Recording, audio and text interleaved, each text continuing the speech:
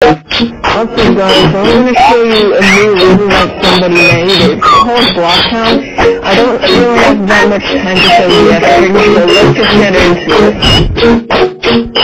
Also, we have New York Bridge. Um, basically, you can take 15 seconds to walk across in a straight line.